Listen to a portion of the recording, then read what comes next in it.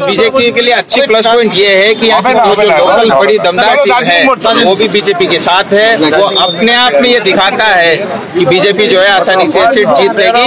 और मेरा दावा है पिछली बार जितने वोटों से जीते थे उससे ज़्यादा मतों से इस बार हम जीत दिलाएँगे देखिए वो आज से पहले भी बहुत बड़े फैक्टर नहीं थे और आज भी इतने बड़े फैक्टर नहीं है। लेकिन देखिए चुनाव चुनाव होता है लेकिन हम अपनी पूरी मेहनत से ईमानदारी से जो है लगन से अपने दिल से काम करेंगे। देखिए वो एक इशू है और लंबा इशू है। बीजेपी हमेशा से इस पक्ष में रही है। छोटे प्रांत का एडमिनिस्ट्रेशन अच्छा होता है लेकिन उसका निर्णय देखिए आज मैं उसके लिए जो है सही व्यक्ति नहीं हूँ। तो आने वाले समय में इसके ऊपर में भी बातचीत करेंगे।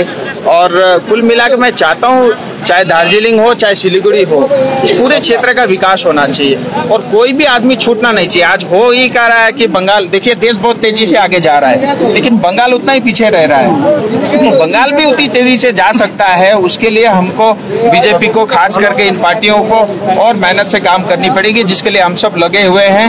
और आने वाले टाइम में देखोगे जो हमारे अध्यक्ष जी का कहना है कि 50 परसेंट से ज़्यादा सीटें हम जीतेंगे वो हमें होता हुआ दिख रहा है। बहुत बहुत धन्यवाद। कर पाया ये बैकफुट था। इसके बारे में क्या कहेंगे? देखिए वो हमारे बड़े नेता है।